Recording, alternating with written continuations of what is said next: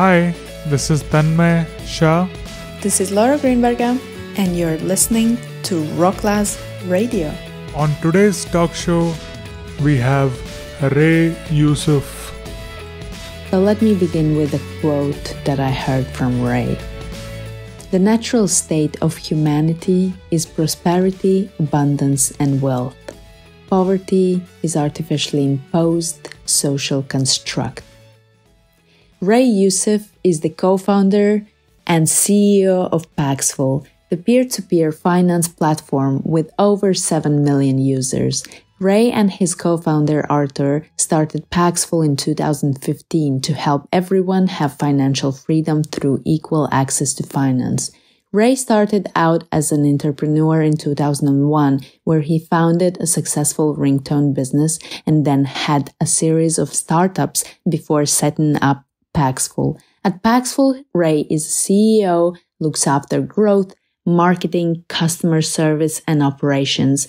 Ray also founded the Built with Bitcoin Foundation that uses cryptocurrencies to create opportunity and thriving communities by providing access to clean water, quality education, healthy food, and a healthy environment via sustainable farming.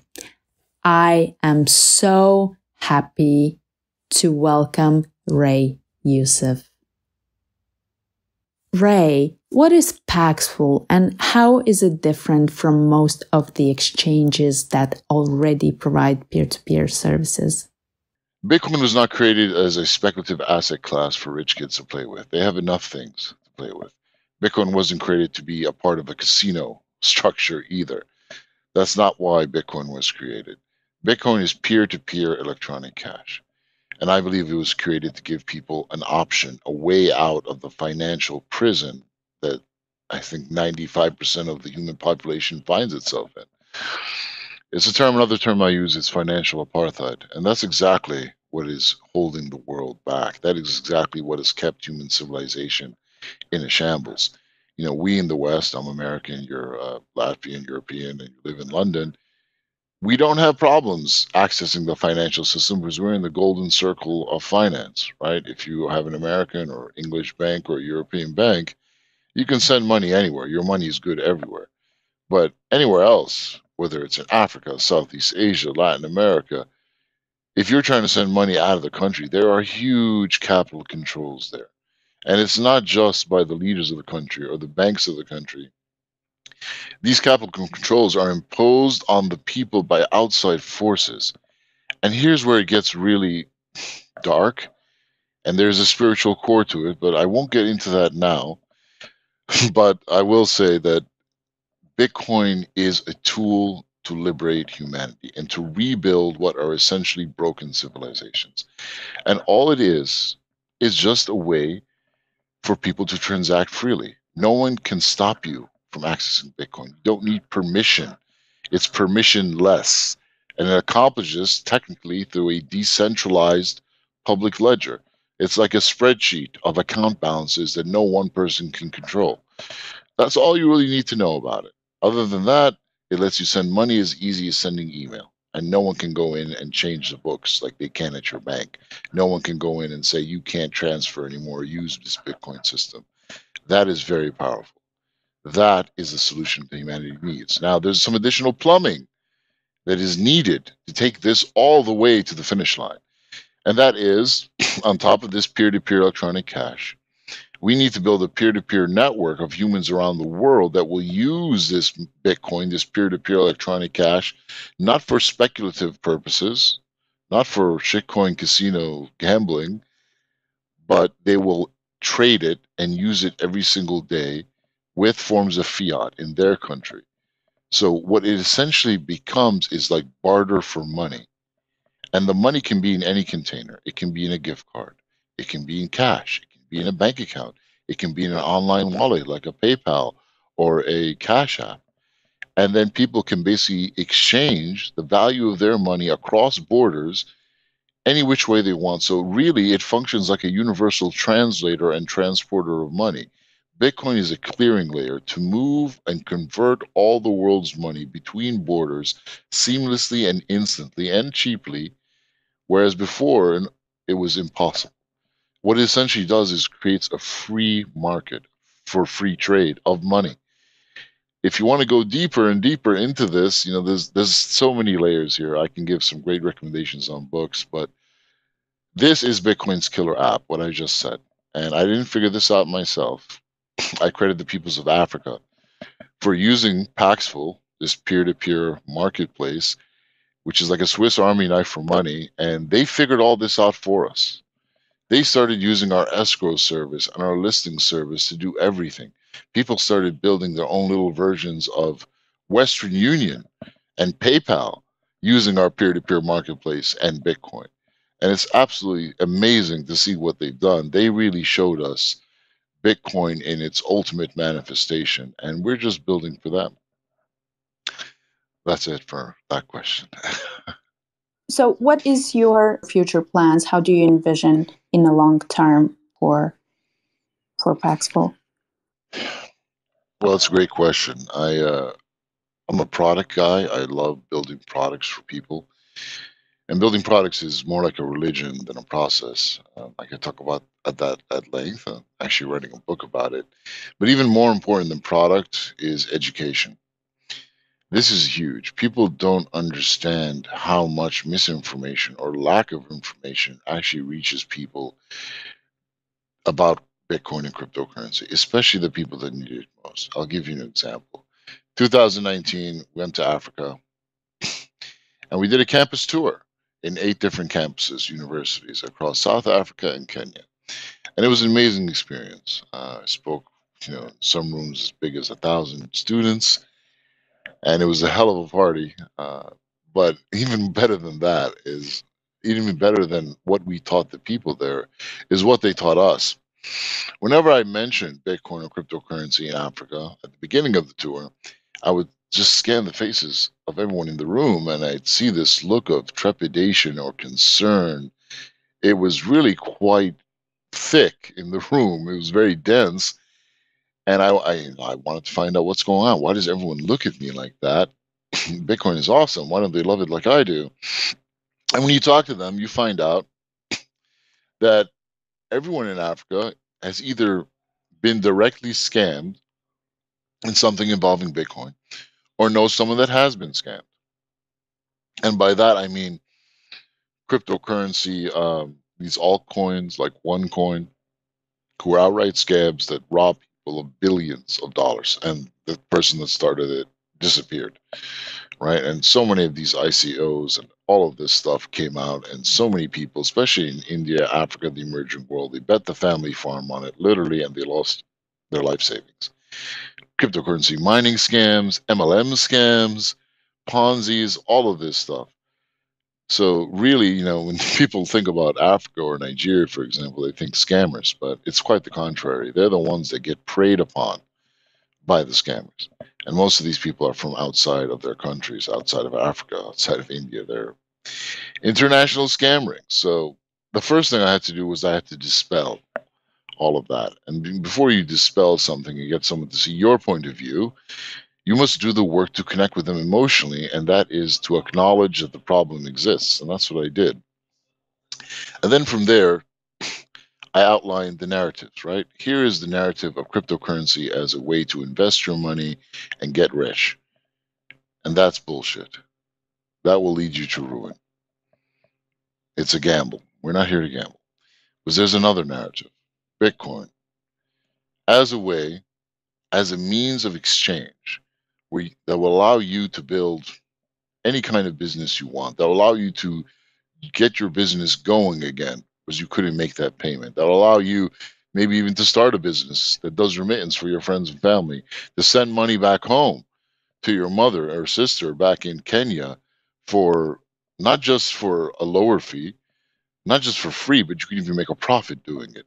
Because, for example, if you're going to send money from Kenya, I'm sorry, from Berlin to Kenya, you'll pay Western Union 20%. Or you can just buy some Bitcoin, sell it to someone in Kenya, and make a plus 4% profit.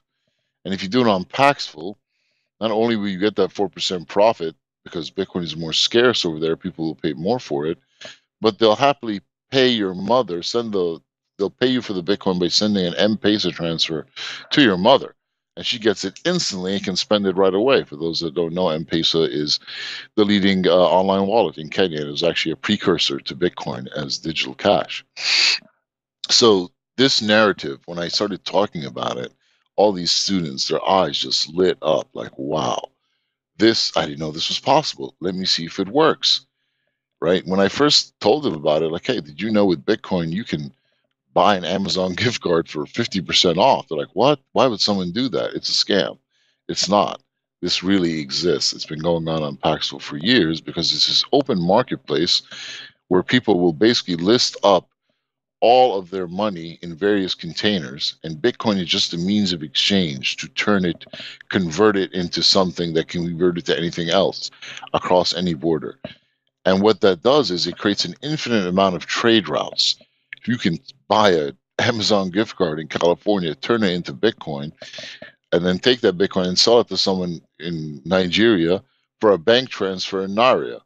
So what you've done is you've turned gift cards into Naira in a bank transfer across a border. You've done so instantly. Whereas before, if you wanted to get paid from someone in America, how would they do it? It's hell sending a wire transfer to Nigeria and you'll lose 30% on the conversions. If you're lucky, and it'll take about a week or two. Or you could use this system. And then the it opens all the doors for payments use cases, remittance use cases, wealth preservation is a natural, commerce use cases. And then people can actually start doing business again and building businesses. So this educational part is really important because even within crypto, people are still going on with that first narrative about Bitcoin as a store of value, as a means of speculation. But no, guys, there's this other narrative. Bitcoin as a means of exchange for people that need it most, to create wealth for the 100%, to unlock all of that amazing talent that is trapped in the developing world. And we're fighting for that narrative every day. We've been doing this for almost seven years now, but now finally people are starting to take notice. It was Paxful that brought the first Bitcoins into Africa through our amazing community. And we did so with a hack. It was a huge hack I was talking, you know, to Africans all over Africa online, and then they're all super smart and quite ambitious, but you know, once I met the Nigerians and I started talking to them, like, wow, these guys can hustle. And I started to focus on Nigeria and I said, I'm going to go over there. I'm going to meet these people. I'm going to see exactly what's going on on the ground. And once I did that, it completely changed everything. I said, okay, this is how we're going to get Bitcoins into Africa through Nigeria. But it was a huge challenge because we had to get the Bitcoins in there for the Bitcoin economy to be fertile, right? You can't have people trading Bitcoins if there's no Bitcoins in the country. The problem was, how do you get money out of the country to pay for it? It's notoriously difficult to get money out of Africa or any of these emerging countries like Nigeria, Egypt, where I'm from. They're like prisons for money, right? Like you usually have to, you know, buy 10 tons of cacao beans and ship it out of the country to a port in Rotterdam and sell it there. And that's how you get money out. But I didn't have $10 million for a minimum order of cacao beans. So what I had to do, what we had to do, was by God's grace find a digital asset that these folks could import and exchange it with a counterparty that would give them bitcoins in exchange. And it, what did we find? it was gift cards and Chinese gamers that would exchange it for Bitcoin. So the Nigerians, we showed them how to get a gift card code and connect them to Nigerian gamers, uh, Chinese gamers who to give them bitcoins in exchange. And the Chinese gamers could take those GitSound gift cards and play World of Warcraft or any of these games online for a 50% discount. They loved it. The Nigerians managed to get Bitcoin. And in typical Nigerian fashion, they just scaled that up to a rapid rate. $60 million a week still flows through that one corridor. And that, with that hack, is how we got the first Bitcoins into Africa through Nigeria. And then from there, it flooded out to all of Western Africa and the rest of Africa. And it's just growing. So this is what I call corridor building. This is the way to get bitcoins in the hands of these people. And there's all these new markets that are opening up Cameroon, Malawi, Senegal. These are places, DRC, the Democratic Republic of the Congo.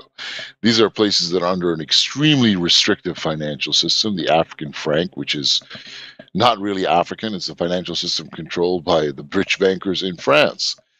and it's used to completely uh, berate and marginalize and keep the people of Francophone Africa poor. So now we need to do the same thing we did in Nigeria across all those Francophone countries. And there's all these other markets that are opening up. For example, India, there was a new tax law passed. Plus, they're again allowing Bitcoin and the cryptocurrency to be traded. So now, because of these new tax laws, all these Indians are going to be flooding to crypto, but they can't do it on the exchanges. So they're going to go peer to peer. So basically, think of it like this think of it being in Justice League headquarters, and you're watching this map, and there's all these little red blips going off. Inflationary crisis here, deflationary crisis there, sanctions here, restrictions there. And in every single one of those places, we have a tool and a community that we can go in and a process that we can go in and help those people. And that's what we have, those are the decisions we have to make every day. We want to help everyone. We have limited resources. Paxful is about 450 people. We're completely bootstrapped, thanks be to God, and we're mission driven. But we have to decide okay, where do we go and how do we help these people? And we always make the choice to help the people that need it most. But that's not easy, right? Because you actually have to put your boots on the ground to truly be able to help these people. It's not something that you can do like putting up a casino online and just have people hit your webpage, right? You actually have to make the concentrated effort to go there, to listen to the people, find out their problems, and then hack a creative solution to get Bitcoin into their hands and then educate them and show them how to use it so they can uplift themselves and their whole community. And that's pretty much the plan from now till forever. But it's all a matter of priorities, of course. That's that's very inspiring. I I know that Nigeria is very very bureaucratic country, and how how does governmental side or official side look at you when whenever you travel there? Well, I was there uh, just last year in the summer, and uh, we actually went there to meet with the SEC of Nigeria, with the educational minister of Nigeria, with the vice president's people. And they were very happy to see us. They're like, wow, you guys are the first people in all of cryptocurrency that actually came to see us. I was like, really? Like, yeah. I was like, okay, great. But you know, we, we get a great reception from government. They're just happy someone is coming to actually address them and being transparent and they see that we're honest, we're compliant, we want to do the right thing, and, and that just creates good vibes. Now, a lot of emerging world countries have their fair share of corruption. Nigeria is no exception. But, you know, these are people that understand that what's going on, they can't really stop. They're very intelligent, right? They're just trying to understand it first because if you think about it, regulators are at least three years behind the industry. So regulators in America, who are the furthest ahead, are three years behind. The regulators in the emerging world are three years behind them. So they're six years behind or more. So again, it comes back to education. They're happy to see us. We just have to make the effort to connect with them and understand where they're coming from because you know every regulator has their own pet concerns or major concerns right? They'll say, oh, it's terrorist financing, it's AML, money laundering, it's whatever it might be. And those are definitely concerns, but there's bigger concerns beyond that which they don't really talk about. And this is a big one. I don't know if I want to get into it on this question, but it, it really is the reason why some pe- countries are poor and some countries are rich, and they don't really change, right? So just trying to get this information out of them and see where they're all coming from is essentially the art of deal making these places. And and that's why we go to these places because you know someone has to talk to these folks and it's going to be us. Absolutely. Uh, i know how fond you are of nigerians and how bright you see them. Um, and I know that you you you love Africa and you want to help, and I know you you want to help. Um, let's say southern part of the world. Um, is it so? It's very popular in Africa, I know, but is it like worldwide? Is it Europe as well and America, or or mostly Africa and India? Well, we're very different from other exchanges. Most other exchanges, you know, they do most of their business in America and Europe, etc. Because that's where the money is, right? The big volume. But we do 95% of our business in the emerging world, what I like to call the global south, Africa, India, Southeast Asia, Latin America. Because we focus not on speculative speculation, we focus on remittance, payments, commerce, wealth preservation, real use cases for real people every day. So that's where we're strongest is the emergent world. Uh, I know your initiative uh, built with Bitcoin. Can you talk more about it? Yeah, that's something really close to my heart. So it's a non-for-profit that we just uh, well, we've been doing it for about five years right now, but we officially started a non-for-profit uh, last year. But um, this whole thing kind of it's a mission. I have a mission, personal mission. Uh, I want to build hundred schools, not just in Africa. We have uh, six in Africa. We just uh, rebuilt one in uh, El Salvador, but across the entire world. And I would like to have a school for gifted children among those schools, right, where we gather the best and the brightest of all these children from around the world and take them to this school, kind of like a Professor Xavier X Men kind of thing, and, and teach them the things that I wish someone taught me when I was that age. But this crazy dream of mine started uh, a while ago in 2005 uh, after New Orleans, the uh, Hurricane Katrina. I went to New Orleans myself. Um, it was kind of just me going down there to see if I could help those people. And I met these five nuns, and uh, together we managed to reopen the first school in the entire city, which is the uh, New Orleans uh, Cathedral uh, Academy in the French Quarter. It a Catholic school. And because we did that, the police and fire department could actually come back into the city. And only then did the city actually open up. So it was just a school, but it actually allowed the city to come back to life. It had a huge impact, and that was beautiful. I uh, it taught me the power of giving back in the right way. You know, because we had FEMA there, we had the Salvation Army, we had the Red Cross, we even had the we had everyone there, and none of them knew what was going on. None of them were actually making any real difference at all. It was just these five nuns who were on the ground, who knew their neighborhood, who were driving around and figuring everything out that were coordinating everything. And they actually managed to get the first school opened up so the civil services come back in and the city could actually properly open up and be safe for everyone to return. And I was like, wow, that's the power of boots on the ground and education to bring life back to a city. If you can bring life back to a city after a natural disaster, you can help rebuild civilization. So, Built with Bitcoin is our initiative uh, for education, but it's it's more than just education. It's also water. It's water and education and honest money. These are the three fundamental building blocks of civilization. If you have just those three things, believe me, humans will take care of everything else. Everything else will just grow rapidly from that. So each one of these schools has a water well. Uh, it's more like a water distribution center, actually and we actually managed to make that sustainable. Uh, the first school we built was in the Bugesera district of Rwanda, which is where the genocide happened there about 25 years ago. And we chose that area for that particular reason because it was, you know, a place where there was so much scarring and pain. But thanks to the great leadership of Rwanda, all that was actually healed and it was it's a very safe country as well. I think Rwanda is someplace everyone should go to and check it out. It's safe, it's clean, the people are very nice, and we decided, hey, we're going to build a school there. It's actually two schools. It's uh, everything from baby all the way up to the age of thirteen. And I funded the first school myself. Uh, there was no built with Bitcoin back then, but I wanted to see this done. And it got done. We actually, I built it with a, uh, a guy named Yusuf Nasari, who was uh, founded something called Zamzam Water. I first met him through Instagram through a great video we made about an orphanage in Afghanistan.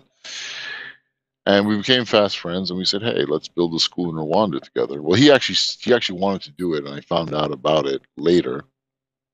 And I said, "Hey, I'll help you fund this," you know, and we did it. And then the sustainable water well is uh, it's really an amazing thing because Bugesera district is 400,000 people. And this well was 98% over capacity. You know, there were only 400 students in the school. They didn't need all that water. So we said, hey, let's make this sustainable. Let's hire two people to distribute the water there full time. Let's charge them 20 francs, which is like a fraction of a cent, to actually fill their jerkins. And it's still a great deal for everyone because otherwise they'd have to go to these, you know, lakes or muddy channels and collect uh, polluted water after considerable burden to them. But now they could all come to the school, this water distribution center, they could get this water. It became so successful that not only is it supplying water for 400,000 people in Bugesera district, but people from other districts are actually having them ferry the water for them.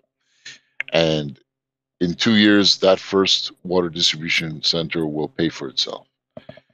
So imagine if we could have these water distribution centers all over Africa. It'd be an absolutely, it would have a tremendous impact on the growth and well-being of Africa because it was uh, it was really eye-opening. Um, when I went to visit the school when it opened up, uh, this young boy came up and he started talking and started thanking us. I was like, oh, he seems a little old. He can't really go to our school. He's like 14. And he made it clear that he could actually go to school now, not our school. He'd go to a school that was already built only because of the water distribution center, because otherwise he'd literally have to spend six hours of his day every single day fetching water for his family. And this is the same story for so many elder sons in Africa and for the daughters too. So you think about the massive growth, the GDP of the country, if we can have these water distribution centers in every district in Africa, and they will pay for themselves.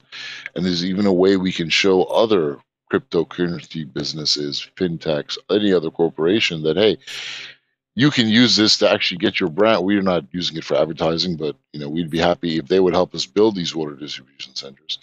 They could perhaps use it for marketing as well, and we could build all these water distribution centers. And ultimately, that's the mission here: is if we can show these corporations that it can actually be profitable to do good.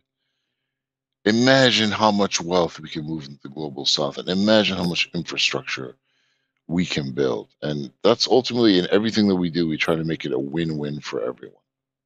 And that's built with Bitcoin. Win win, exactly. God bless you. God bless you.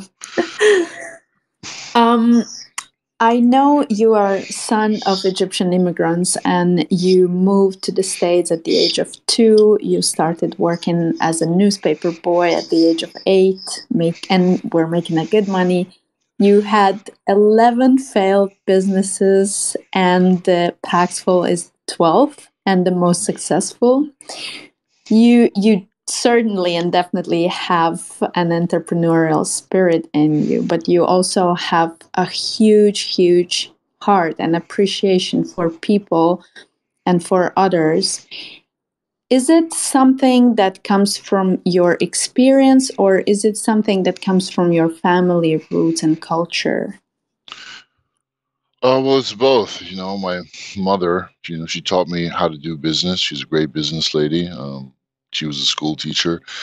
My father was also a business person. Um, he um, he worked very hard. He did the best he could for us. I learned hard work from him. I learned business ethics and proper business processes from my mother. And I picked up skills along the way, but you know, growing up in New York City in the 80s and 90s on the streets of Hell's Kitchen, it teaches you uh, street smarts and it teaches you people skills on a very real, visceral level. And looking back on my life, uh, I have to say, like, that's honestly the best thing that I have. Uh, I mean, I'm in the business now where it's all about technology and code I'm surrounded by brilliant people, but really the best asset is leadership, and leadership is all about how you work with other humans and getting the most out of them, and sometimes protecting them from themselves. It was my experience, you know, growing up in Hell's Kitchen in that time period, which was a really hard time in New York. Let me tell you, it was a crack epidemic in New York, and I got an eyeful of that growing up as a kid, but it really hardened me up and it taught me how to deal with humans on a very real level. I'm a very empathic person. Sometimes I have to protect myself from that, but it is a gift because you know we have three values at Paxful. Number one, stay connected to the streets. And that's so important. When you understand how to actually connect with people, you know, face to face in any situation, it gives you a certain confidence, right? And it takes away your fear. And you can truly have boots on the ground anywhere then, because it doesn't matter if you have to go into the streets of Lagos or Afghanistan or Azerbaijan or, you know, the slums of Baltimore or whatever it might be, you know you're going to be okay. And uh, no matter where it is you go, you always learn from people. And that you have to have a certain kind of humbleness to be able to do that. The thing about business is that, you know, a lot of businesses get their start because they're connected to the streets, either through one of their founders that understands a problem so well that they can solve it for themselves and help others. But they lost, they or they lose that you know, as bigger and bigger they get. I don't ever want Paxful to lose that. And that's one of the reasons why we're so successful is because we truly are connected to the streets. Boots on the ground is a huge part of that. That's why people trust us. The second value is that we build for people. And you see that in Built with Bitcoin. We are here to help uplift humanity.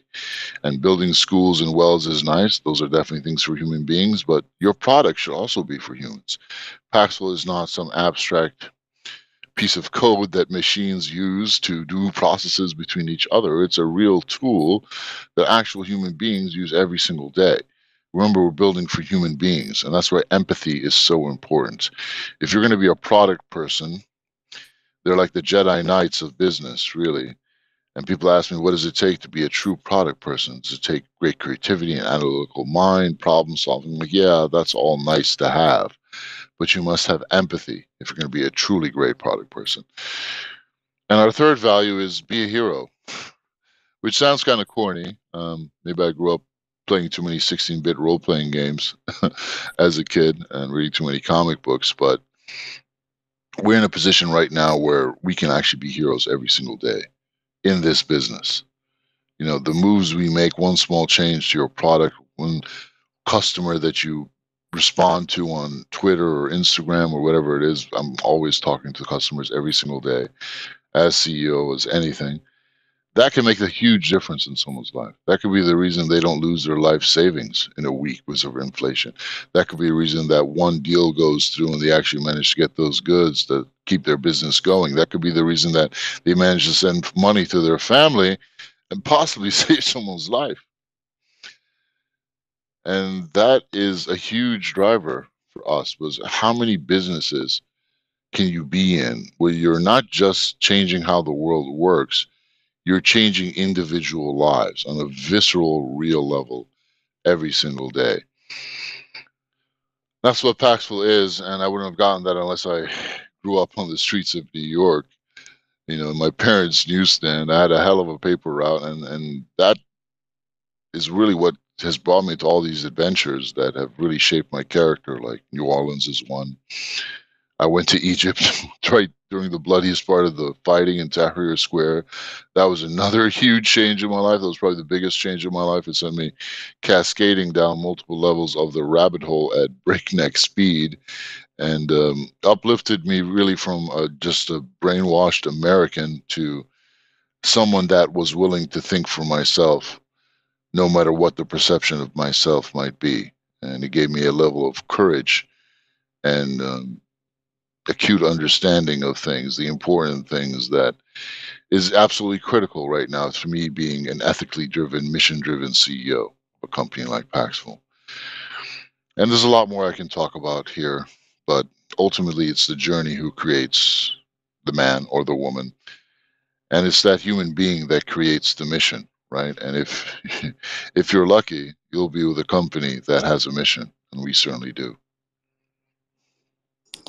Right, you are so inspiring. I'm just ready to rock and roll and to fly and do everything. If anybody else in the audience wants to to support your cause, to support any way they can, how what they have to do how they can do this? Well, I have to say, uh, number one, start teaching yourself about Bitcoin and why it's so important. And I say Bitcoin and not cryptocurrency for a reason. because Bitcoin, the Bitcoin community, they are the most amazing people I've ever met in my life. You will meet the most awakened, knowledgeable, and compassionate people in this community.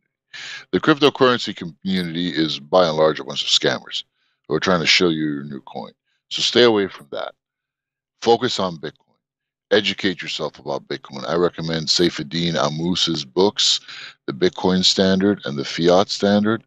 It's a great explanation of what money actually is, why Bitcoin is so amazing. If you want to get even deeper, there's a great book by Jack uh, Weatherford called The History of Money that goes even deeper into the origins of things. But ultimately, the best thing that Bitcoin gave me was an educated mind and about the most important topic and the most important question, which is what is money? And Bitcoin answered that for me. Money is not gold or silver. It's certainly not a piece of paper. Money is simply the work of humans, human labor encapsulated to transcend time and space. That's it. It's an amazing invention. And if you have honest money, you can have a truly prosperous world. Why? Because human beings are amazingly creative and uh, generative creatures. I mean, look at a teenager, and if you put them to work doing something and they're passionate about it, my goodness, they could probably build up a whole mini civilization or village themselves. And imagine unlocking 7 billion humans to be able to do that. All that's needed for that is honest money. With the technology we have now, there's a reason why I believe, why I know that the default state of humanity is prosperity. So once you've educated yourself, which is good because it arms you with data and knowledge and you can defend your position, but most importantly, you'll be able to take a stand within your own mind and believe that the default position, the standard, the natural state of humanity is prosperity, wealth, and abundance. And once you've gotten to that place, you have completely changed your soul, actually because ultimately we're in a battle for the human mind. And there are two narratives. And the first narrative, which is the mainstream narrative, which is what we get taught in school and everywhere, is that you know we're a bunch of uh, lewd, rude, uh, primitive, hairless primates uh, on a ball of dust spiraling throughout the universe at some crazy speed. There's a whole bunch of other balls of dust out there, and we're insignificant. We're nothing. We're you know brutal and mean and violent, and we just like to destroy things. And we're we started off poor and well. No, that is completely wrong. It is exactly wrong. Now, what would be the exact opposite of that? That we are a blessed, good creation that is loving, that is kind, that is generative, that is incredibly creative, that if we just are able to work with each other and that we want to work with each other, you don't see babies being racist to each other, we will create a world of prosperity, abundance, and wealth for everyone. Wealth for the 100%, not the 1%. Once you get to that place in your mind, you will literally become an antenna of power, a tower of power people will hear you. You will infect others with this strength. And this is our only real shot right now, guys.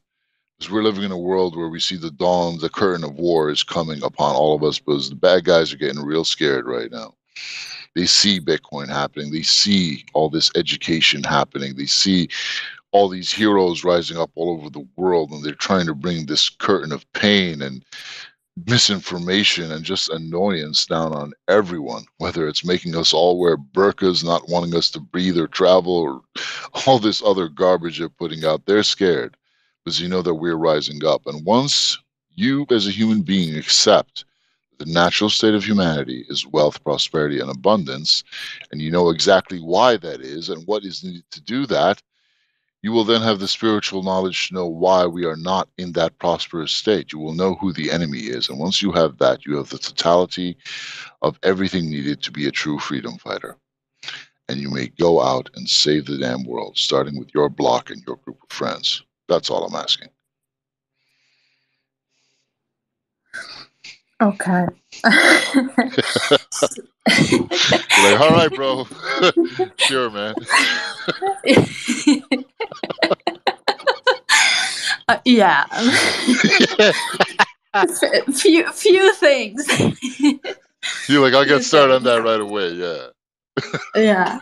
No, I, I completely agree that everything starts within yourself and everything starts in your own mind and you have to think big to to change something i mean you you can think little but i mean uh, what's the point if you can also as well think big right you should think big, but you should act in, in you know a very small area first. Test things out, build your confidence, and you move from there. Small victories lead up to big ones, right? As long as you just you unlock that creativity and that that grandness inside your own mind, right? That's the key, and everyone deserves that. Let's let's talk a little bit more about money and then we talk about something lifestyle and, and that. Uh, what do you think is the future of money now with the with with crypto and DeFi and everything? Yeah, well, I mean, we're seeing the the formation of this this web of money right now that is outside the control of these, you know, broken and primitive banking rails built on this ancient technology. You know, like the American SWIFT system, or the ACH system in America is like 50 years old. SWIFT is a SWIFT is a the banking network SWIFT that literally moves all the money around the world globally is a completely global, uh, broken, uh, factional, tribal, federated system of just you know stupidity, ignorance, and incompetence. That's the past.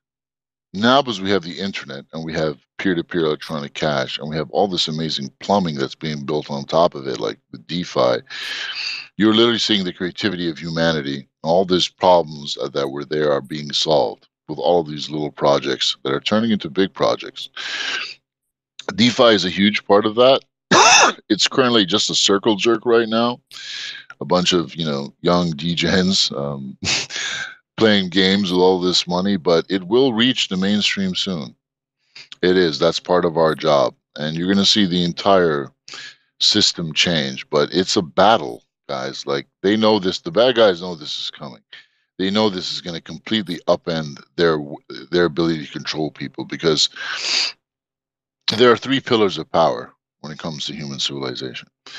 There's the financial pillar, which you know if you're smart you'll take control of first. Because once you have control of the financial pillar and you can control the volume of currency in every economy. You can decide who's rich or poor. You can punish or reward.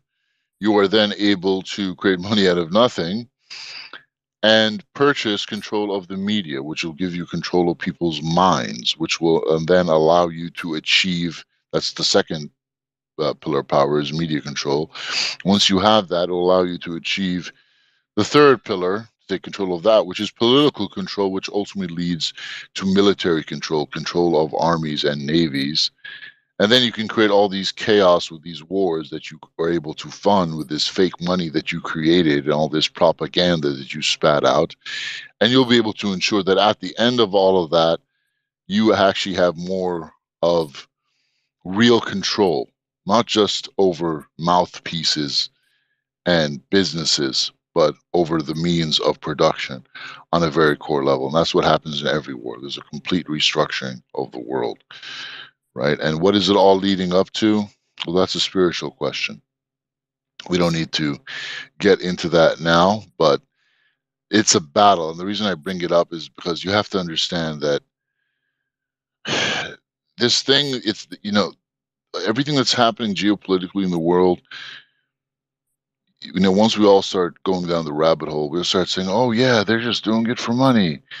All these drugs, they're trying to sell all for money. All these masks, all this, this, that. Like, they just want money." But no, if central bankers are able to create money from nothing, then money is not their end goal. They can create it from nothing. Why do they care about money? It's Just a tool to control the serving class, whether they're billionaire CEO or just a guy, you know, putting together shoes on an assembly line, they're all the same to them because we have to work for our money. No matter how successful I am, I'm still working for my money. I can't create money out of nothing like these guys can. So I'm still their slave. And so are you if you're listening to this and you can't create money out of thin air. You're still a slave too. So we're all in the same boat. So they're not doing this for money. The question is, why are they doing it? I'll leave you guys to figure that out, but it's certainly not for money. So once you get there, guys, you'll be able to understand where things are going. But you don't have to go that deep down the rabbit hole. That's only for the very few. What I suggest you guys do is you go out there and you start playing around with some of the amazing financial products out there. Whether it's collateralized lending, for example, you can put up 150, you can put up 150% collateral of your Bitcoin or Ethereum or whatever, and then you can borrow out um, uh, USDT, US dollars from that, which you can spend that's a great example of some of these fintech products out there right now. Imagine if you could take that out of this small DeFi space and put it into the global south and allow people in the west to lend money to people in the global south. At so you know they'd earn way more than three percent APY, and people in the global south wouldn't have to pay thirty percent a month, borrow two hundred bucks. They could just pay one third of that, and everyone would still win. So go out there and use some products it'll teach you how the history of money is going to look like, but it's not just going to be one system anymore. There's going to be all these blockchains, all these different systems, all these different products. There's going to be so much to choose from, which is good, but it can also create a lot of noise and it can create a lot of room for error and pain and scams, right? So, again, we have to be more on the ball now than ever before because we'll have more options than ever before. Um, the world is getting more digitalized and in, in a good way, but also that in a way I feel like people are losing some sort of connection, which on on the good uh, side that peer to peer everything, more possibilities, less border, uh, economical freedom possibilities in, in the areas and, and regions where it wasn't available, like possible before. But what about also the environmental changes? What about these people connections? So there is like duality of the good and bad. What what is your comment on that? What do you think about it? You mean the people that are saying like Bitcoin is bad for the environment or no, no, the, exactly the digitalization and how that brings maybe to connecting between in real life people and human connection. Oh yeah, uh, yeah. Uh, I'll keep it simple. We got to get outside more, brothers and sisters. Do not be stuck at home on your computer. You know, just doing all this G-Gen stuff all day. I'm a nerd. I'm a major nerd. All I do is work all day, but uh, we have to keep it real. We have to take care of our bodies. We have to eat right. We have to work out, lift weights, live a good, strong life there. Life does not exist in the metaverse, all right? Fuck the metaverse. I'm tired of hearing that crap. We don't need that shit. We need to get our work done, play some games or whatever, but we don't live inside computers. We're human beings with real physical bodies, and that's a blessing. Let's go out there and actually use them you know, there's no the metaverse, the multiverse. These are all honestly diabolical concoctions to just distract us from our true power, which is to affect change in the real world, right? You know, NFTs are amazing technology. We can use them for good things, but remember, this battle is not going to be won in digital reality. It's going to be won in the real world. You know, on the streets. Never forget that, and always put your body and your physical well-being above everything else. And keep your screen time limited folks. Wish my mama told me that. She did actually. I didn't listen. Well hey. It all comes with time right Uh, I don't know if you have seen there was a video where Iceland uh, was trolling Mark Zuckerberg and saying like, "Live in this universe. It's real. You can play with water and splash it." It was funny. What is your lifestyle? Is with your all traveling, with your passion to your work? I assume you're workaholic. And so how do you really keep that that healthy lifestyle? Uh, well, you have to go to the gym, lift weights, eat right.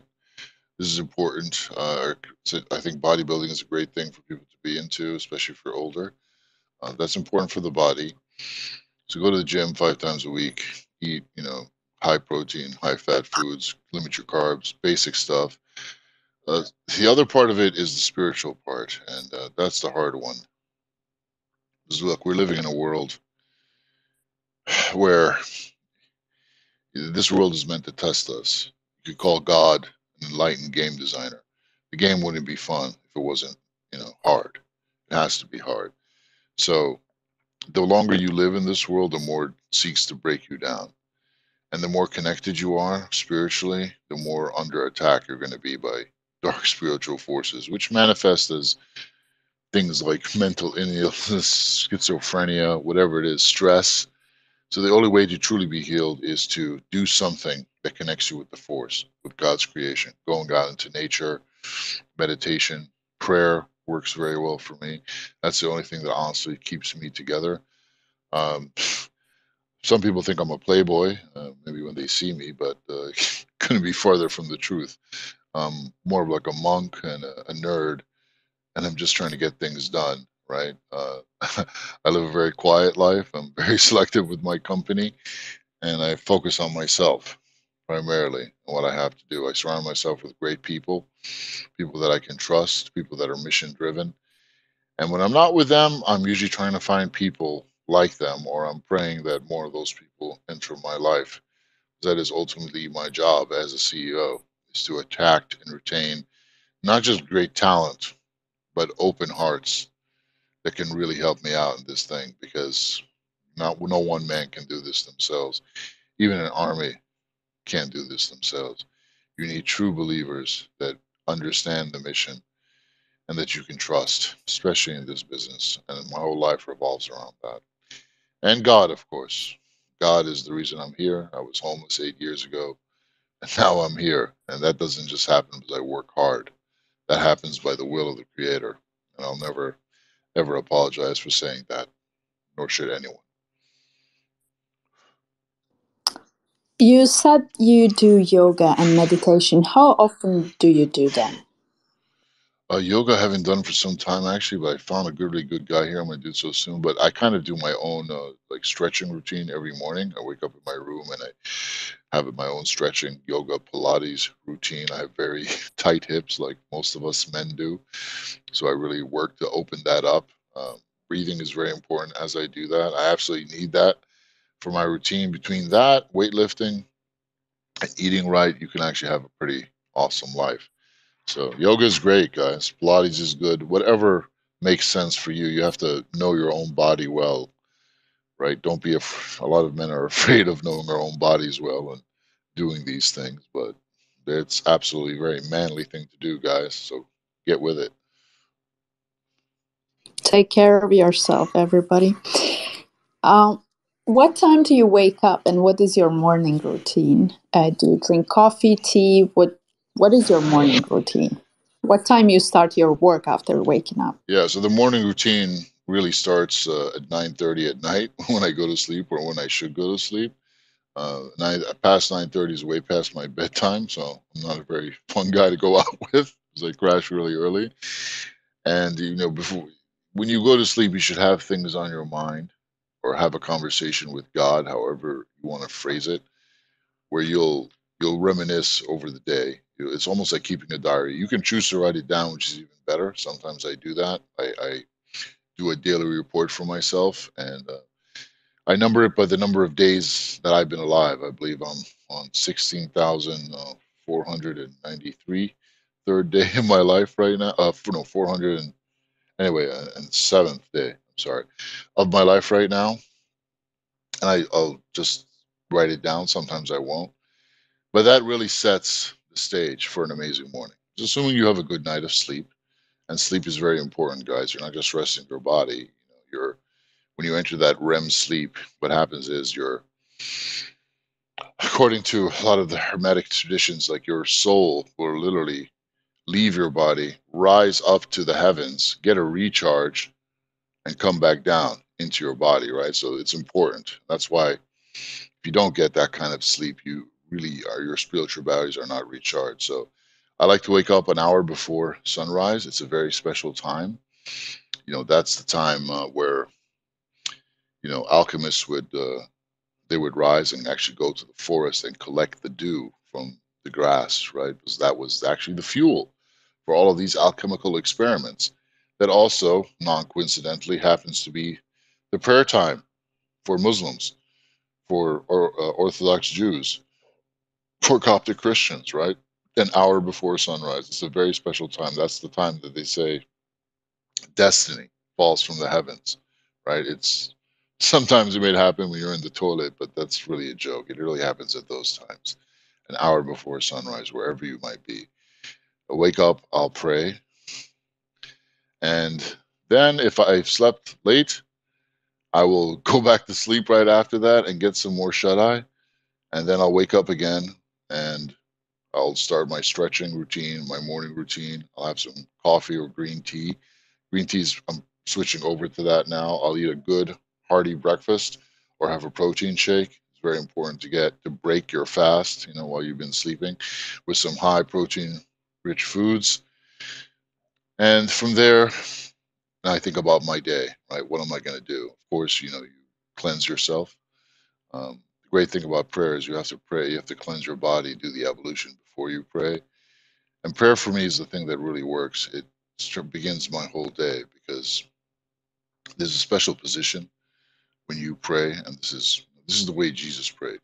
This is the way all Muslims pray. This is the way Orthodox Jews pray. It's it's mentioned in Matthew uh, Matthew 24, 13, where it says Jesus put seven points on the ground, including his head, and prayed. It's like 11 times in the Old Testament. That position is called sujud in Arabic. It's very powerful. They say it's when you're closest to God. It's when you put seven points your hands, your knees, your feet, and your head put it to the ground, get that grounding, that energy, and you're in a state of complete prostration where you're worshiping this this force that is greater than you. And you can ask for anything right there. You can ask for the biggest thing, you can ask for the littlest thing. You know, God always wants to hear from us. That is my superpower. Literally everything I've asked for in that state of worship, I've gotten. Everything. That's the best advice I can give any human being alive on that planet. It doesn't matter what religion you are, what language you speak. You don't even have to get in that position if you want to, but you have to pour your soul into that. But if you want to go all out, that's how you worship, guys. Right there. Anything other than that, it's like having sex with your clothes on, honestly. Part of the pun.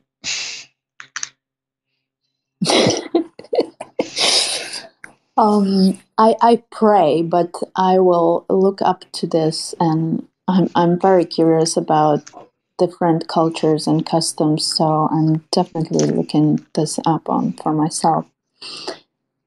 Awesome. Do you read books?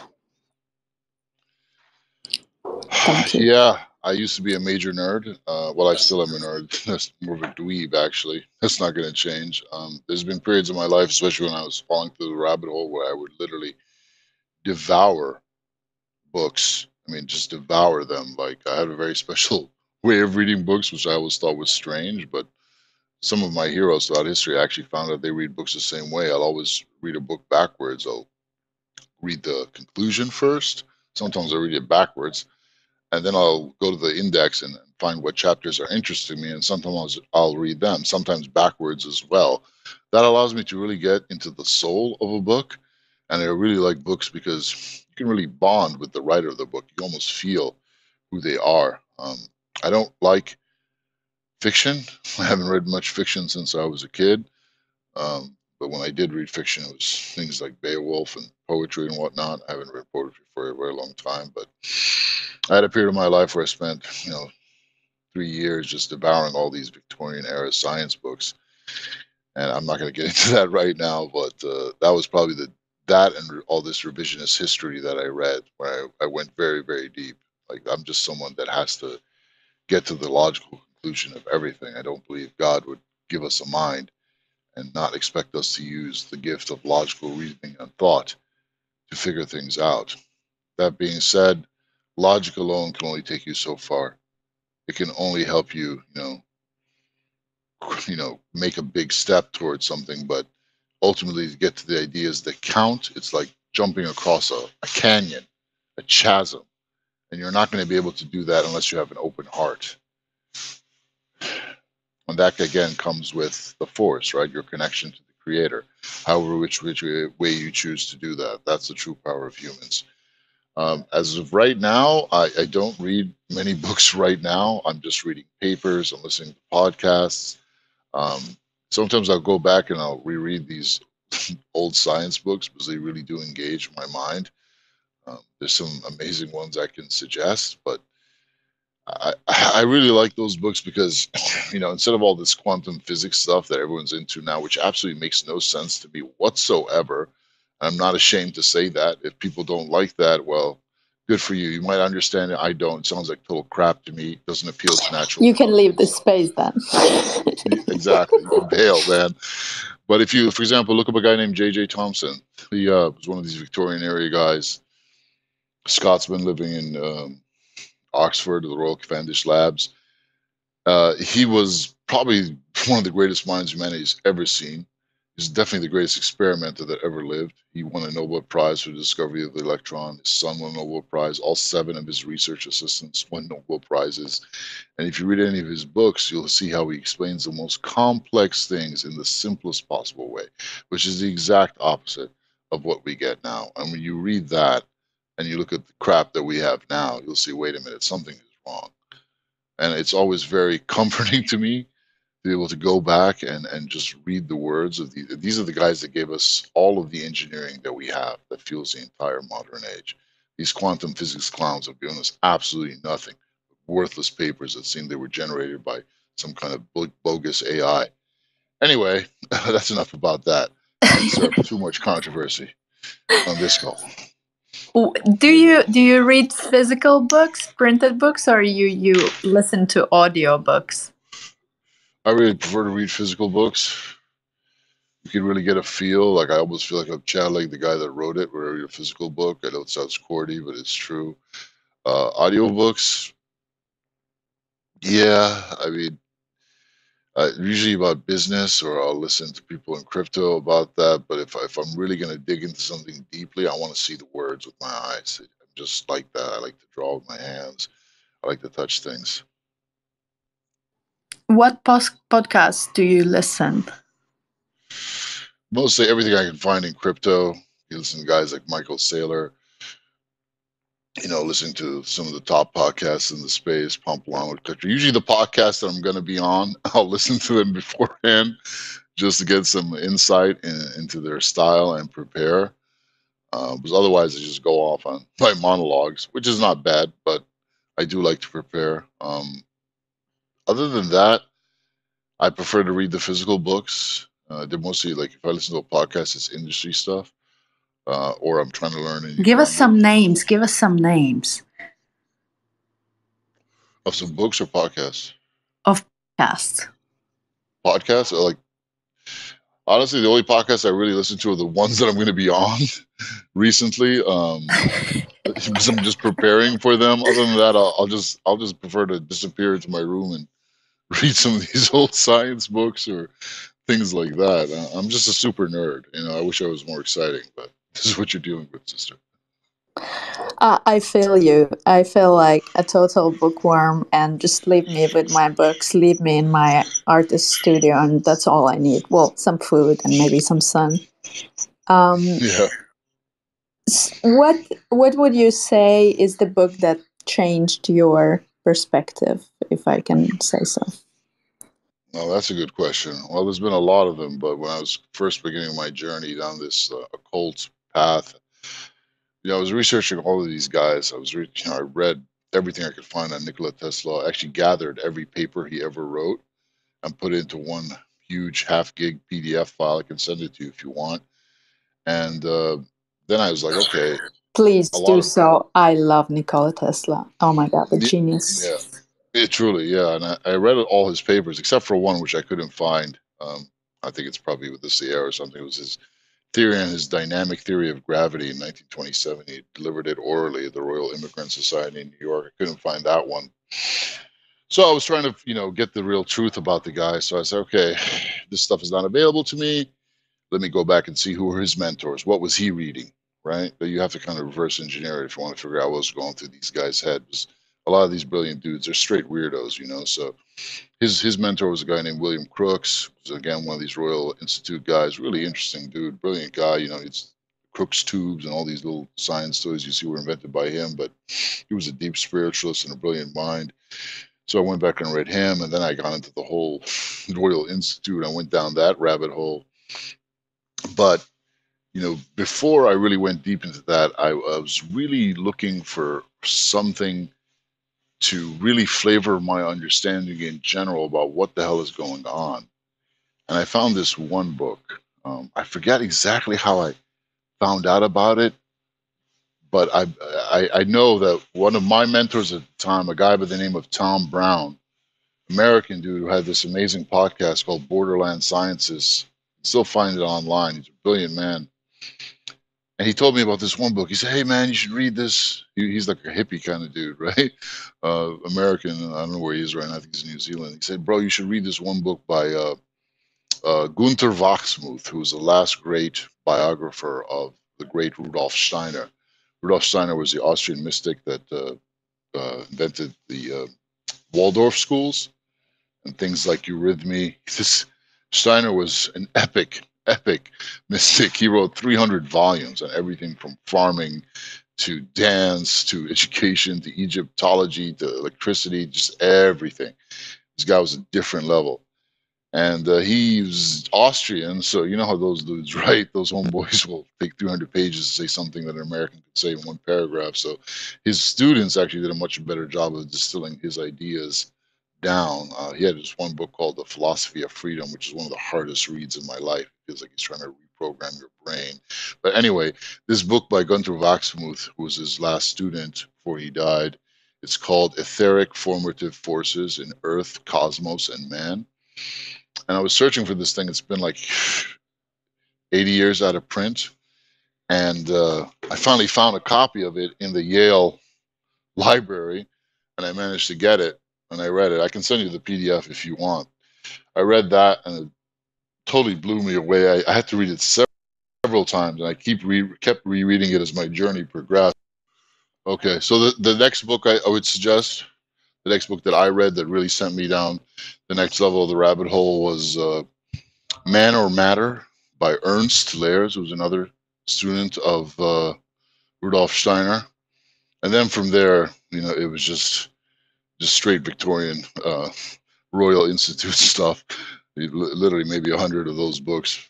I, I, can name those names, but if you just start off with those two books, "Etheric Formative Forces" by Earth, uh, in Earth, Cosmos, and Man by uh, Gunther Wachsmuth, and Man or Matter by Ernst Lehrs, it will completely recondition your thinking in a beautiful way. How many countries have you traveled? Oh, I don't know. Uh, or how many do you actually miss to complete the entire world? I haven't been to Antarctica yet. I've been to pretty much. Uh, actually, there's, there's quite a few. I have a lot more work to. I've been to maybe seven or countries in Africa. I go there often, but I want to go to all the smaller countries like Malawi, Chad, Niger, Senegal, Cameroon, all of these places. Um, I, I've been to most of the countries in South America and Latin America, but there's still more work to do. Maybe I think 50 more countries and I'll cover the vast majority of the world. Wow. What sports do you love? Do you love outdoors or indoors? Uh, I, I didn't grow up playing any real sports. I was a major nerd, um, real nerd. The only the book sport, sports. Yeah, the book sports. Yeah, the only sports that I got into were uh, boxing and MMA. Um, I liked them because I never really got into team sports. I was just too nerdy. I, I was really turned off as a kid by how passionate people were about football and basketball and baseball, and they knew so much about this stuff and I knew all the stats. I'm like, man, you guys know so much about this stuff that's fucking meaningless, and you you know nothing about the things that actually matter. And I just kind of rebelled by not caring about that. But I I like boxing. I like MMA because it tested the soul, and uh, you kind of feel like something is settled afterwards. If that makes any sense. Absolutely. What cuisine is your favorite? Uh, I have to say, I like Indian food. These Ayurvedic spices are genius. I like Japanese food. It's not sushi. I mean, I like sushi and sashimi, but like simple food, like uh, you know, a mackerel and a bowl of rice and a beer. That's that was like my standby for a long time. Korean food is great. Kimchi, which I make myself sometimes. Fermented foods. Uh, you know, good marinated meats. I'm a simple guy, but mostly Asian food. Thai, Thai, Korean, Japanese, Indian. I have to put at the top of the list. What is in your bucket list in this lifetime? It can be travel, it can be seeing cultures, it can be achieving anything. What is in your bucket list?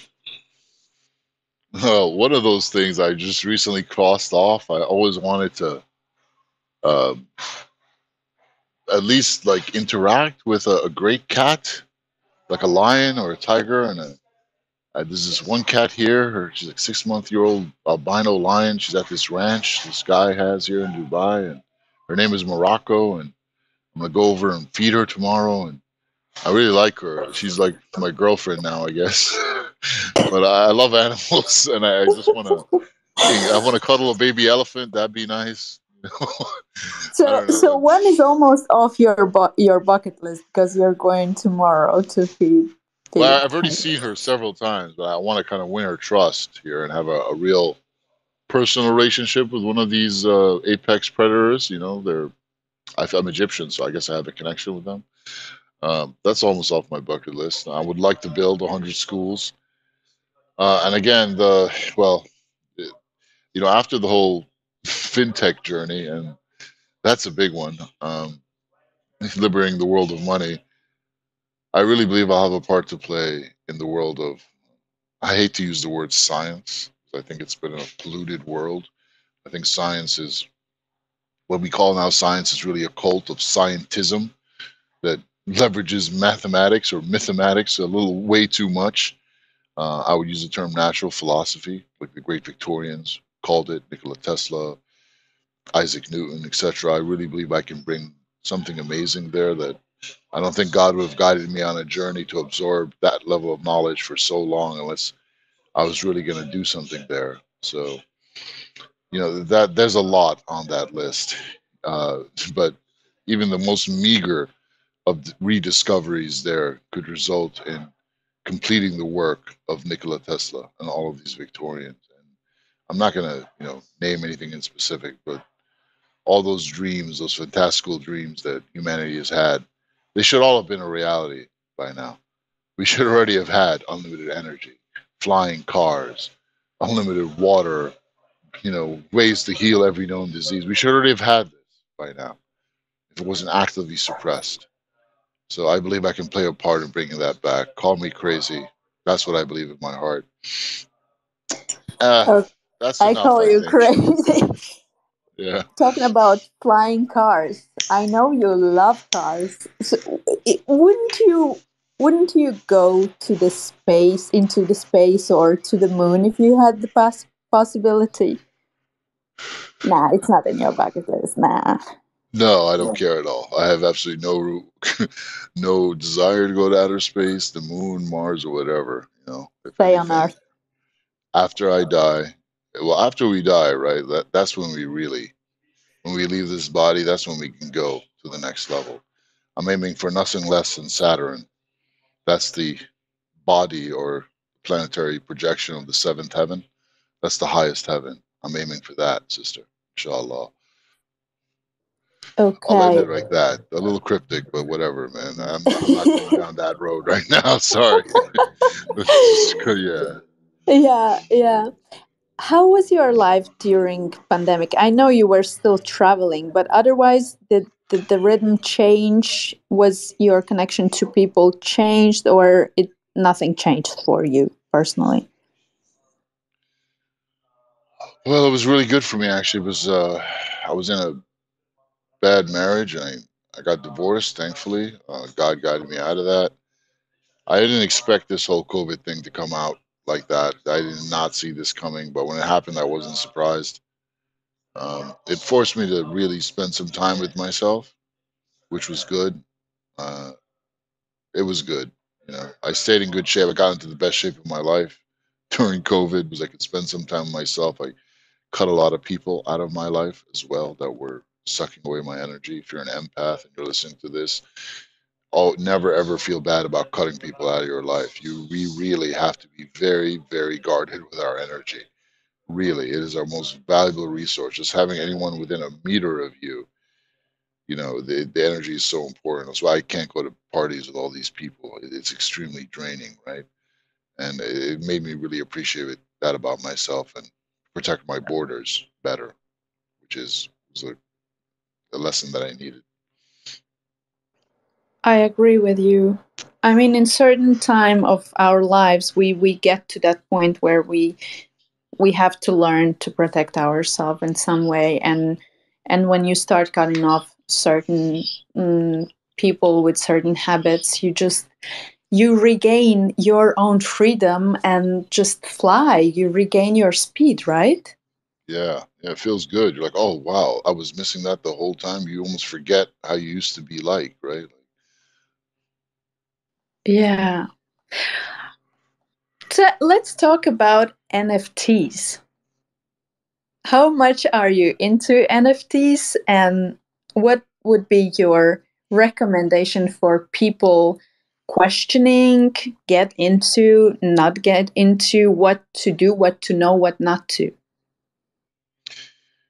Yeah, I've been gifted some NFTs. I, I do have someone that's kind of managing my NFT portfolio right now, and it's been successful at this point. Um, I, I don't really care about acquiring NFTs myself. If anything, I would like to build a product that makes NFTs more accessible to the people. That means studying what's currently out there, like OpenSea, uh, LooksRare, whatever it might be, and doing better. Because I, I do think it's amazing technology. It's just just getting started. I think there's a whole new world for NFTs out there. I think the good guys have to really put some love into NFTs because otherwise it's just going to become another money grab full of scams and it's going to distract us away from what's really important, which is Bitcoin. So I, am calling out to all the good guys out there. I know you've heard a lot of NFTs. Don't be shy. Start educating yourself about it. Start using these websites and products, NFTs, and start learning about it. Um, most of them, I mean, it, what's beautiful about them is that they're unlocking a lot of the, the artists around and putting them to work. They're showing, they're getting real appreciation right now. It's basically the art world taken digitally, right? In a way that is proved verifiably real. That's it. But it's again prone to a lot of the uh, hacks and abuses that art has been used for for a long time. Uh, art has been used for money laundering and tax evasion since art was around. And NFTs are continuing that tradition. There's a lot of good they can do as well, but we don't know what that is because, hey, we just started. So get out there and start learning. NFTs are the future. It's happening right now. I don't suggest betting the family farm on an NFT collection, whether it's you know queer vampires or you know puffy bears or pudgy penguins or whatever it might be. But do start learning about it. Um, you know, I've been working on this car project for a while. Um, I redesigned the Shelby Cobra inside and out. It's quite beautiful. Uh, it's being made right now by a pretty awesome team. And I was thinking about making an NFT, but I don't know. I I'm very ethical person. I, I don't want to put out an, or put out a token. I've never done an ICO because to me, I have an ethical responsibility to make sure whatever I do is backed, is ethical, is backed by proof of work, is is not going to make people poor. It'll make them richer, if anything. So, I have a bit of uh, contention there within my own self. So I don't think I'm the best person to advise there for now. Okay, thank you. Is there anything you would do differently in in back looking back in the past having the experience and knowledge that you have now? Yeah, you know, a lot of people say I have no regrets in this life, but I do have regrets, and uh, my regret has always been that I didn't spend enough time with my family, didn't spend enough time with uh, the women in my life, that I, I should have been more emotionally available to them, more supportive of them, instead of just being selfish and so focused on my own knowledge and building things. That's my only real regret. I, I wish the people that truly loved me that I gave them more of myself, but I have started doing that now. So that's from the heart, sister. This, thank you. This is very philosophical, but do you think you would have achieved what you have achieved if you tried to balance because you were obviously you were full into your project and fanatically just going after that. Do do you think by balancing and having the time off would would would you achieve what you have now? I mean does some parts of our lives do some parts of our lives have to give in anyway or not? Or can we do everything because there is so much time, you know? It's a good question. Um, and it comes back to what we understand. What is balance, right? What is balance to you? Now, if, if my father was more of a balanced person and had, you know, the family or social skills that you know, I wish I had, then I would have understood balance a lot better. And I believe I would be able to do everything I've done now and do amazing things as well. But because I lacked that role model in my life and that you know that that uh, conditioning from the start, I had to go on my own journey, and I had to reach the palace of wis- wisdom through the road of excess, and that's just my journey, right? we don't get everything right. Like God gave me a lot of tools, but some were missing, so I had to go on and figure them out for myself. I never really had a mentor growing up, and men like that are always seeking father figures in some way. I sought minds through dead scientists and dead revolutionaries through books. And that's just my path. I had to put a lot of time into that, and there wasn't much time for other things, right? So I had to go on that journey. But if I had a balanced role model and I had all those things just primed and ready and there waiting for me, it would have been a different story. But I'm thankful. Some people don't have a father at all, or a mother at all, or any family, or any guidance ever. So I'm thankful. Absolutely.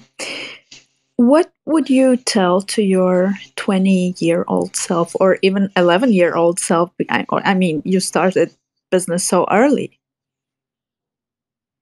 What would you say to your younger self?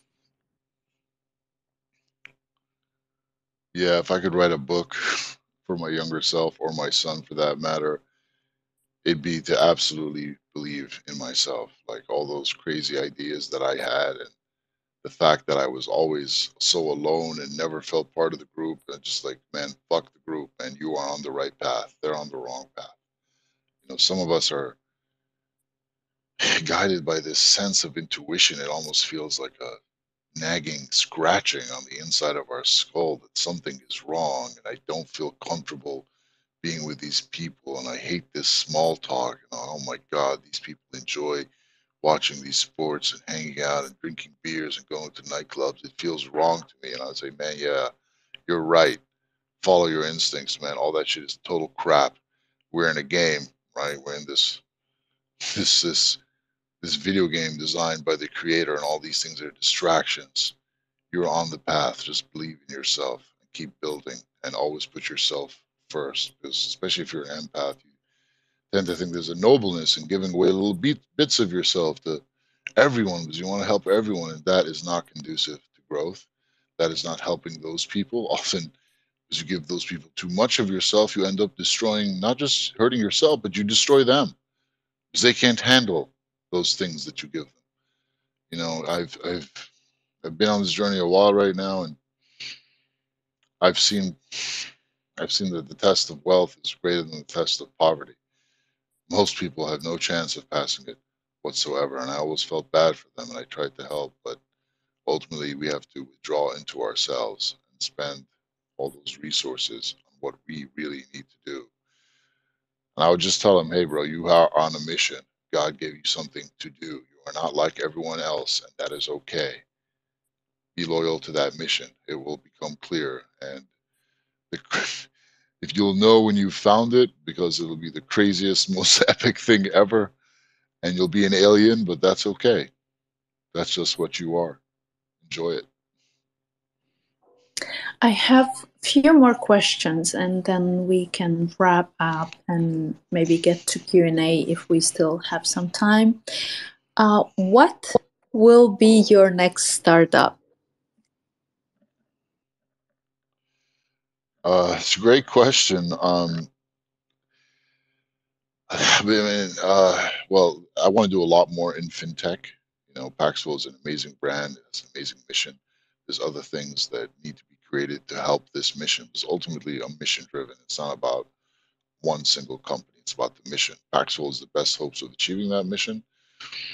But there's other things that need to happen as well. And I love building products. But uh, after the whole finance part of the journey, or at least during, getting to the science, right? And introducing these amazing groundbreaking products and things that humans use every single day, whether it be you know, a car, a pair of shoes, an electric jet, whatever it might be. I believe that's the next part of my mission. So I want to get back to physical reality again and engineering that changes the game. That'll be that'll be my next startup. I think cars are a great place to start. I think Elon Musk was on the right track when he did that. I'm not going to be doing any electric cars, at least not electrical in the way that we think. Electric cars are 140 year old technology.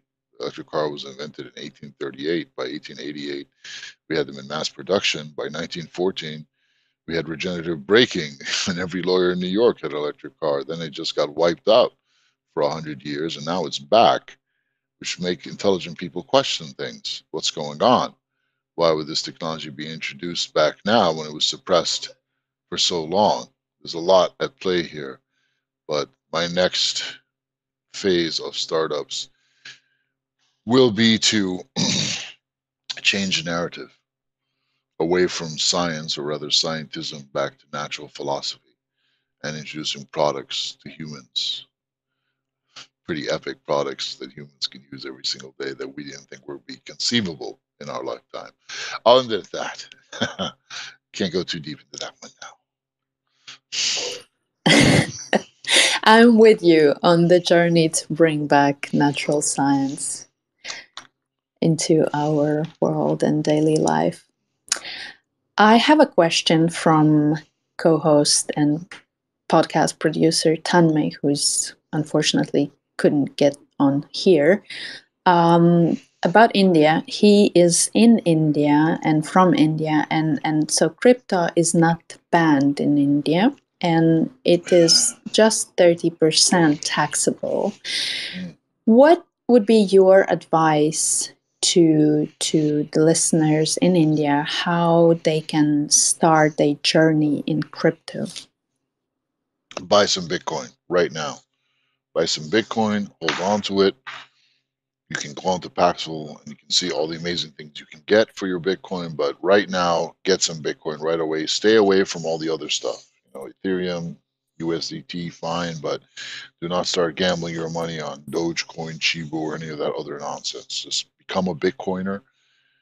Understand why Bitcoin is so important. Educate yourself on the Bitcoin standard and why Bitcoin is the greatest technological revolution of our times. That's it. Focus on that. Bitcoin, Bitcoin, Bitcoin. It is the replacement for gold. It is something that the Indian people have taken to wholeheartedly, and I think just India and Africa alone can change the entire world. I think they can be. I think every city in India can be like Dubai, and every city in Africa can be as developed as Dubai in just 10 years if we all really embrace this technology. So start by getting some spend every waking moment understanding Bitcoin. That's all. Stay away from the junk. Important. Stay away from the junk. Learn about yeah. Bitcoin and start now. Yes, ma'am. Yes. Um, people who would love to support Pax Niger or or anything you do, how can they do that? Do, can they call it like donate for charity? Any how they can participate? Uh, you can donate to Built with Bitcoin. Uh, you can send any type of crypto there, and we'll turn it into a school, into a well. You can contact the folks at Built with Bitcoin, and it's an amazing team. I think like ninety, it was hundred percent goes to actual the ground. Now it's like ninety six percent, but that's like the in can be exact opposite of any other charity where ninety six percent goes to paying people at desks. Only a meager fraction goes to helping the people. Uh, that's cool. But even cooler than that is just support support us. You know, if you see a tweet by us, retweet it, engage. You know, really come to appreciate Bitcoin. Educate yourself about it. Educate your friends about it. Become that one friend in your circle that understands Bitcoin. Is pushing your friends around you to know Bitcoin and spread that. It's so important. Again, there's a huge distinction between Bitcoin and cryptocurrency. I'm talking about Bitcoin. It's a completely different animal than cryptocurrency. Bitcoin is the truth. The rest is noise.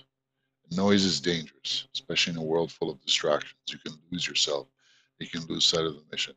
Stay focused on Bitcoin. Become that Bitcoin friend and spread it around. Thank you. Thank you so much for your time. Thank you for your wisdom, your knowledge, your experience, sharing all that with us today. Thank you so much, Ray. You're such an inspiration and such a great energy. Thank you so much. Thank you, sister. I appreciate your words, your great questions, and your awesome work with NFTs. You're kicking major ass. Massive respect. Thank you. Thank you. And I don't know, do you have uh, 10, 15 minutes for Q&A from the public or Okay. yeah? Okay, fantastic. So I'm going to open the stage and raise your hand and you will get to you will get the chance to ask your question to Ray. Um, also, I had a question. If somebody would like to contact you uh, for I don't know for business or whatever the reason, what is the best way to do so? Is it email or social media?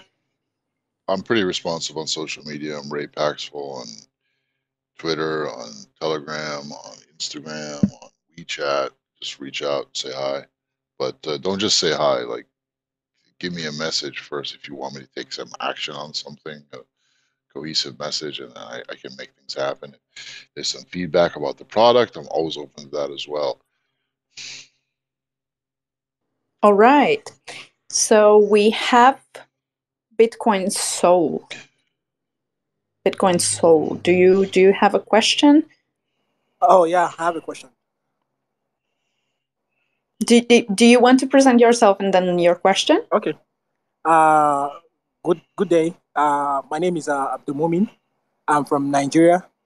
I'm one of uh, Paxu vendor, and I've been trading on Paxu for the past um, four to five years. Uh, great man, Mr. Ray. Thank you very much for speaking to us. It's always inspirational to listen to you. Also inspirational to uh, follow and uh, follow what you've been doing in the crypto space. Uh, my question is about uh, regulations. Uh, just recently, we heard the news about uh, how Binance uh, freeze about 281 accounts of Nigerian descent. What do you think is going to happen in future when the aspect of regulation comes in, comes in, especially in regards to centralized uh, exchanges? So, does that does would that not affect the basic principle of uh, Bitcoin if power that be have control over exchanges? Would that not alter the principles of uh, uh, Bitcoin and uh, blockchain, so to say? I hope you get my question. Yeah, thanks, brother. Um, yeah, so Bitcoin is permissionless. We can use Bitcoin between ourselves. The only reason that people use exchanges is to exchange big crypto, Bitcoin for other forms of crypto and speculate on that. And they also use exchanges to convert the crypto into other forms of fiat, right? So it becomes fiat money, right? That part is where the regulators are really squeezing. They're squeezing Binance very, very hard right now. Binance is under a regulatory attack from around the world, right? Paxful is peer to peer. We're fully compliant. We're an American company, which is presents its own challenges. Unfortunately, American compliance is very rough. You know, when you mention Africa to Bitcoin to American regulators, you see their faces kind of twist up, which is unfortunate. Um, but it's a battle, really is. You know, we have to stay ahead of the race, and that means education. That means not depending on exchanges. That means not keeping your Bitcoin on exchanges, whether it's Binance, Paxful, or whatever. You should only use them as places to do exchanges, not to hold your Bitcoin. You should control your own keys. Great question. Hello? Um, yes, we go with you, Samuel. Then we have Germ- Germanium. I hope I pronounced that right. And then we have Oluwa. So All right, ahead. Yeah, good everyone. Um, hello Ray. Um, nice to see you here. I met you in Dubai. Hope you can remember. Uh, and also good to see uh, Tone Vays, right? Okay, I, I have a question, right? Um, we've seen governments around the world, you know, you know, they're bringing up um, laws to make uh, uh, Bitcoin or crypto in general taxable, so you can have tax on crypto.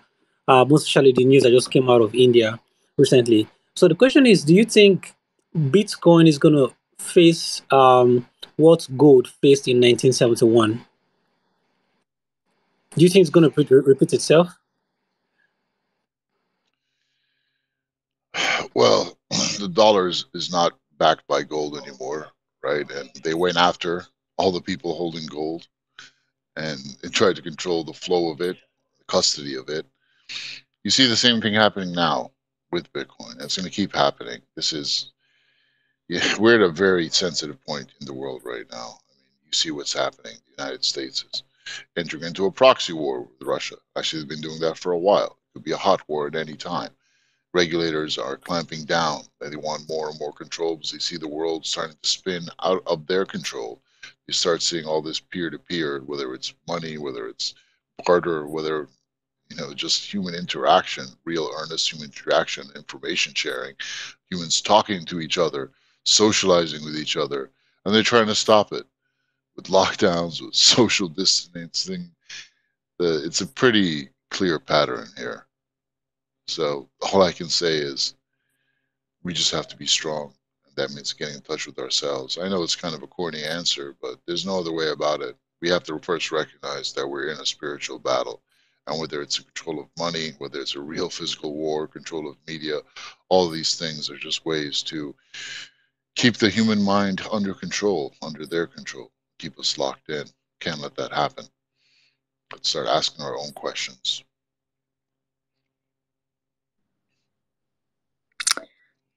Okay. Thank you. Um, Ger- Germanium.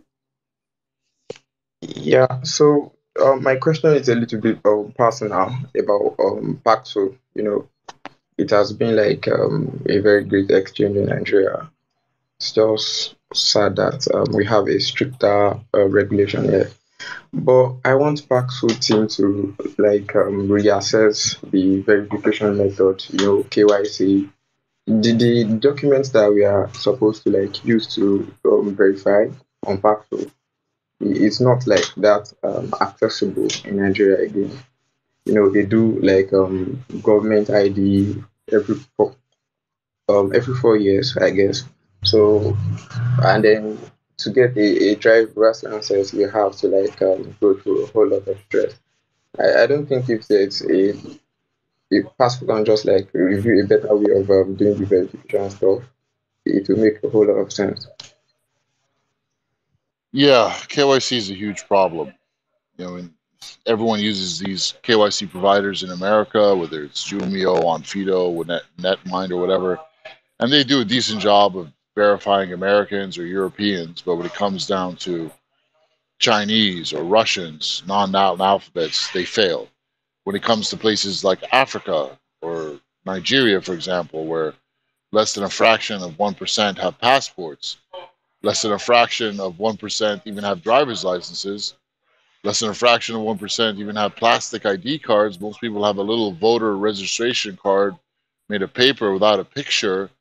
They don't know how to handle that. So the the challenge is on us as an exchange, as a marketplace, uh, to to hook into these local identity verification systems.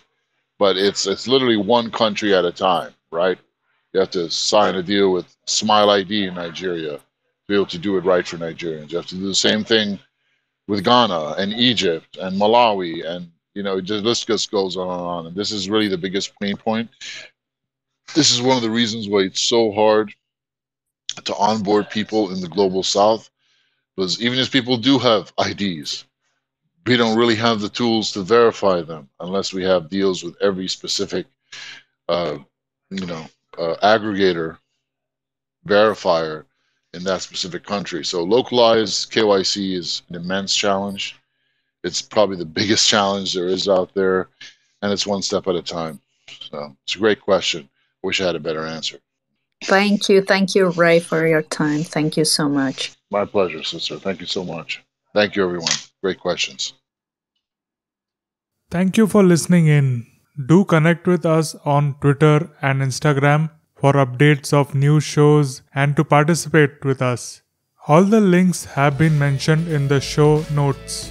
Another thing, we have got some amazing NFTs for you. I have a collection of 3D animated, abstract, and figurative NFTs.